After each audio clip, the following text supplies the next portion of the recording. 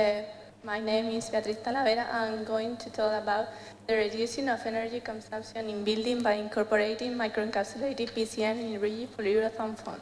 This project is being carried out in the Department of Chemical Engineering at the University of Castilla-La Mancha in collaboration with the company Acciona Infraestructura. So, uh, the energy, the constant increase of energy demand is promoting the use of new renewable energy sources and also the development of new systems of heavy energy. Solar energy is standard as a good alternative as it is renewable, clean and also universal but unfortunately it needs to be stored. Uh, the use of latent heat nowadays is getting more important and the material that you use to do are called phase change materials. So a phase change material is a substance with a high latent heat of fusion able to absorb, store and release large amount of energy. This is a wide variety of uh, PCM that can be used. They can be classified into groups. Uh, they are organic one, uh, from which standard hydrotesal and ones uh, such as canned paraffin and gases. And how do they work? Well, when it is hot outside, the temperature of the PCM rises up to reach their melting point, and then they start to spend the energy in the phase change and, keeping the temperature inside the building close to the melting point. And in the opposite case, when it is cool outside, this uh, PCM solidifies, releasing the energy it has previously stored. So some property is required in order to apply them in buildings. So having a melting temperature about 25 degrees and a high latent heat, it must be low cost, good uh, available and non-toxic and non-corrosive uh, materials. And the next step is where we place the, they can be incorporated into wallboard, ceiling, floors and shielded off window and cooling and heating system. And uh, another important point is the way we incorporate them. It can be done directly, mixing them with the rest of the building material, but it can't be done by previous microencapsulation and further application. So here we see uh, a microcapsule with a core of PCM and a cell of uh, polymers. And so this second advantage, microencapsulation, had many advantages. So uh, we can say that it avoids losing the PCM, avoiding interaction between the PCM and the rest of the building material, uh, making easier the handling of the PCMs and increasing the area of heat transfer. And in our case, we had a microencapsulating PCM by means of two different techniques, spray drying technique and suspension polymerization, selecting the, uh, the ones produced by spray drying technique for these uh, projects. Uh, here, as we can see in this slide, this microcapsule show a quite spherical uh, shape and a narrow particle size distribution. Differential scanning calorimetry were used to know the latent heat and also the uh, microcapsule, the paraffin into the microcapsules. And in the last figure, we can see that this a microcapsule, after a several cycles of heating and cooling, they maintain their latent heat. And so, the Directive on Energy Performance of Building states that buildings are responsible for 40% of the energy consumption and 36% uh, of the CO2 emissions. So this is the key to achieve the uh, energy objective uh, therefore, this project is focused on the development of building with a more efficient use of energy. One way to achieve this is the incorporation of PCM into uh, buildings uh, for getting a thermal energy storage. Uh, this way, we, we, we, get to reduce the energy consumption, the environmental pollution, save it at the same time a lot of money in energy. And uh, therefore, the aim of this work is to develop sandwich panels achieving high test capacity. This panel consists on a, a an external sheet of epoxy resin and a core of polyurethane foam. Uh, the synthesis of polyurethane consists on the condensation reaction between the polyols and polyisocyanate. Uh, we first uh, added the PCM to polyols and then some additives are incorporating blowing agent and also surfactant to regulate the morphology of the foam cell. And uh, uh, having a uh, having font with different microencapsulated PCM content, uh, we studied the main properties such as microcapsule distribution, latent heat, photo structure and cell size, density, and mechanical resistance.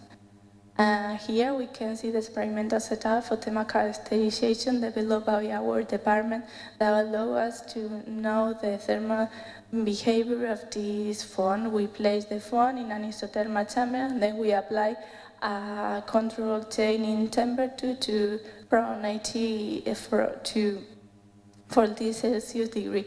And then temperature and also heat uh, fluxes were recorded.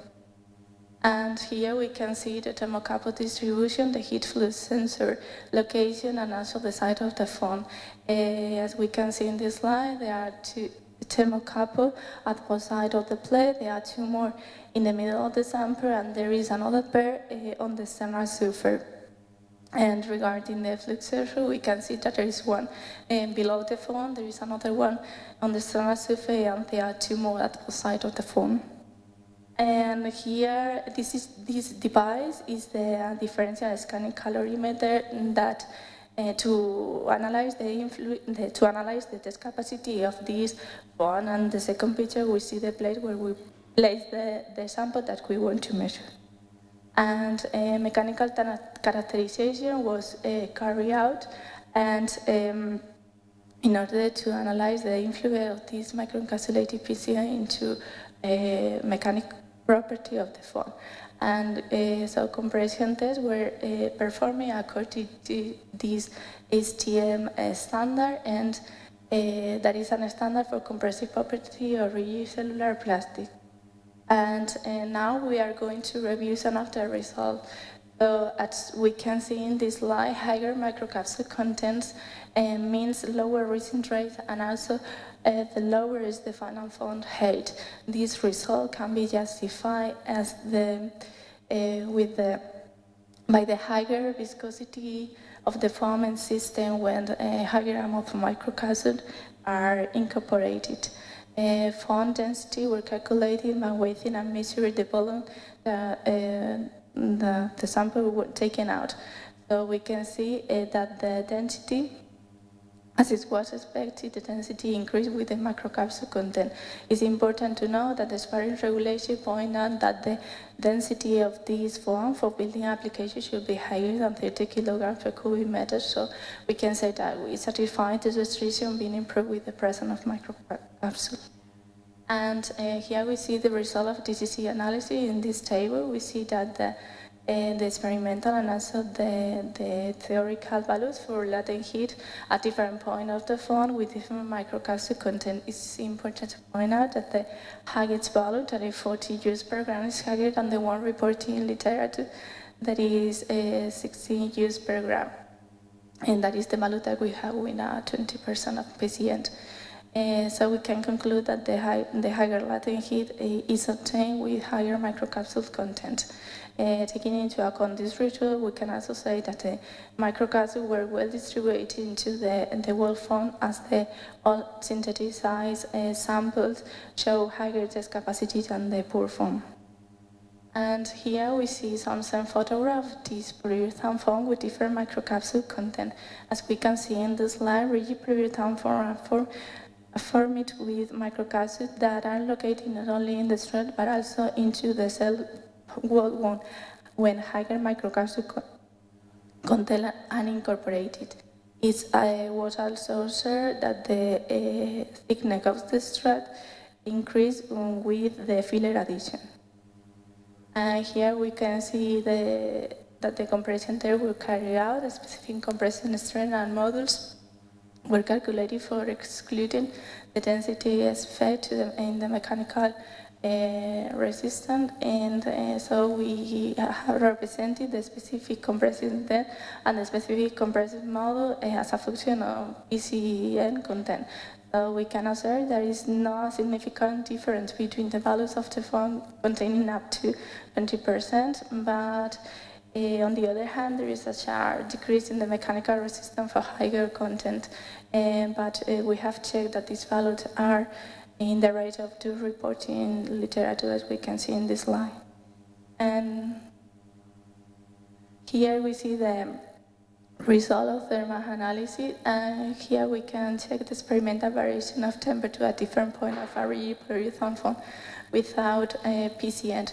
We see that the thermostatic bath show a change in a step from 80 to 40 Celsius degree, and uh, two thermocouple in the opposite position to the uh, direction flow. So we checked that the both thermocouples that were played on the external surface uh, the same temperature profile and the same happened with the ones that were played in the uh, middle of the foam and the one that were played on the plate. So uh, we can conclude that one dimensional flow can be assumed.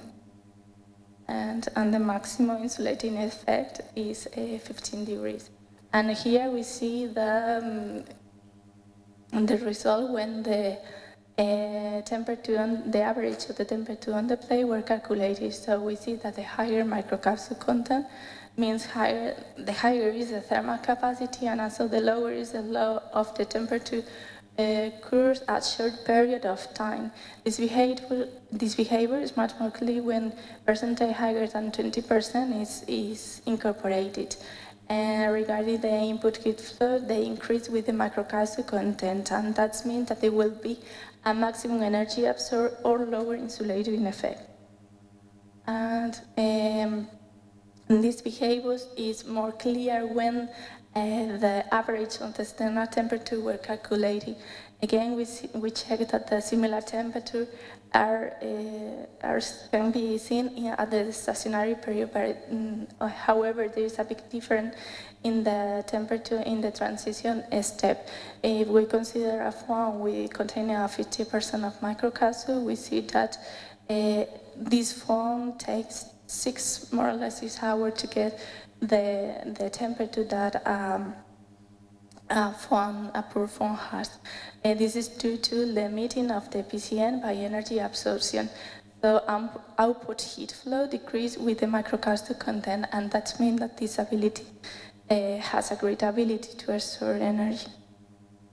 And uh, by uh, extracting the outlet heat flow from the input heat flow, we cannot take the total rate of uh, accumulated uh, energy. So these triangles means the total energy of a cell during one step temperature change from 80 to 40 degrees.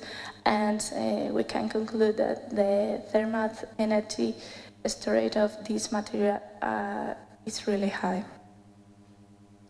Um.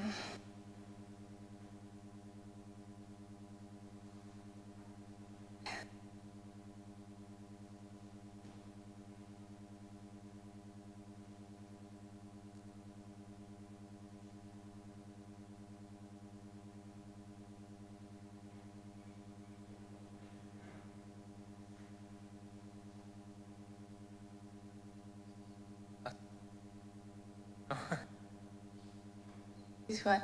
Um, and so uh, we have determined the thermal conductivity and the heat capacity by using the, uh, the equation that are uh, shown in this slide. And the, we represented the thermal, the thermal capacity and also the thermal conductivity as a function of the PCM content. And, and we checked that both paramet uh, parameters increase uh, 0.05 and 7 10 less 4 respectively with the microcapsule content. And we have checked that both parameters are representative of the reporting in literature. And and uh, taking into account the last result, if, uh, if we consider an standard room cover a standard roof uh, with these dimensions, 3 per 4 per 2.5 cubic meter, covered with uh, 1 cubic meter of, panel, of this panel of polyurethane foam with a thickness of 3 uh, centimeter, uh, we will get to save uh, up to 3, uh, 5.38 kilowatt hour per cubic meter if we use a foam containing 50% of PTN. Last. And uh, so finally, the energy that can be saved by this material uh, can be represented by the following example. So if we consider that the consumption of a, of a 60 watt light bulb is equal to 1.44 kilowatt hour, we can say that the energy saved by a room covered with this panel containing uh, 50% of microcapsule is equal to the energy spent by four light bulbs uh, working all the day. So we can conclude that the, this Mic- mm, this microcapsule in polyurethane foam not only allow to save energy but also reduce the CO2 emission according to the study of the CNE Center that state that 0.35 kilograms uh, of CO2 are emitted per uh, kilowatt hour that is produced. So much for your attention. Feel free to ask any question.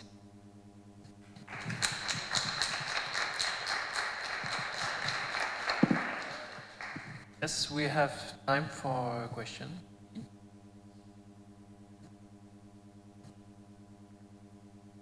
No question. I have one. Uh, what about the effect of the foam on conductivity to reach? I mean, to reach the Uh, microcapsule. When we increase the microcapsule content, we have to observe that the conductivity increase with the microcapsule content. because of the concentration, or because, Because there's more there are more amount of uh, microcapsule and that microcapsule have this property Mhm. because um, in the at, uh, um, at the stationary at the in the transitional condition can be um, um, more insulated, but in the uh, not in in the uh, stay condition.